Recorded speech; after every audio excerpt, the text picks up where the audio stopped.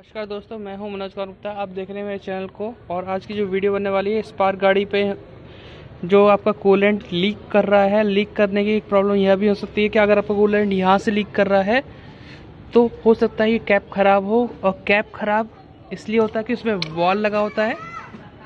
जैसे मेरी गाड़ी में वॉल लगा हुआ है, इसमें लीक हो रहा था यहाँ से, इसके ख़राब होने के कारण आपके कूलेंट लीक कर सकता है।